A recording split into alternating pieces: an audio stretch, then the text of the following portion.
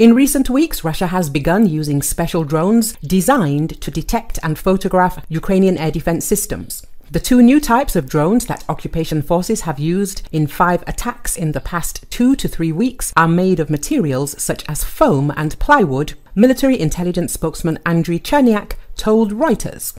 One type is equipped with a camera and a SIM card from a Ukrainian mobile operator to send images to Russian military personnel. They are determining where our mobile groups are located, where the machine guns are that they can destroy.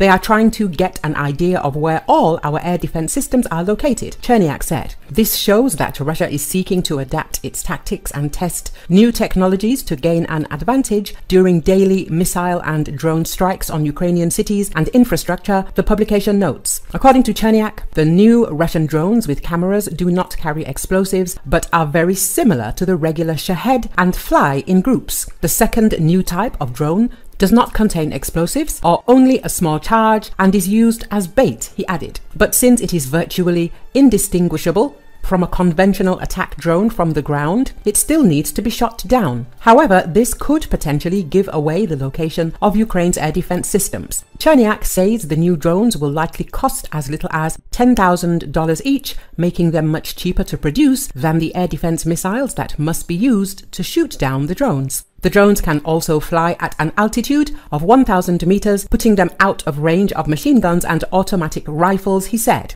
As reported, Ukraine will receive the Hawk air defense missile system from Spain. It is expected that by September, our country will have a fully operational installation that will enhance the air defense potential. In July, the Air Force of the Armed Forces of Ukraine showed how the Ukrainian sky is protected by the American Hawk. This weapon is designed to eliminate various missiles, but our soldiers managed to shoot down drones of the Shahed type thanks to it.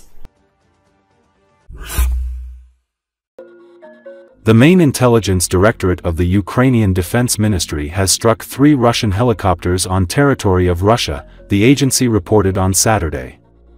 According to sources within Ukrainian special services, Russian Mi-28 and Ka-226 helicopters were struck on the territory of National Helicopter Manufacturing Center Mil and Kamov joint stock company on the night leading to July 21 in Tomilino settlement in Russia's Moscow region.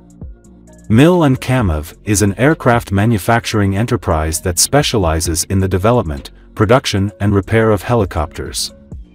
The helicopters were hit as a result of sabotage activities by the main intelligence directorate.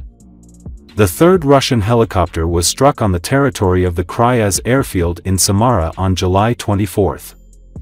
The targeted helicopter was a multi-purpose Mi-8. In addition, as a result of the operation carried out by the main intelligence directorate on the morning of July 27, Russian military airfields were attacked in the city of Engels in the Saratov region, Dyagilevo airfield in the Ryazan region and Olenya airfield in Murmansk region. An oil refinery in Ryazan was also hit as a result of a kamikaze drone attack.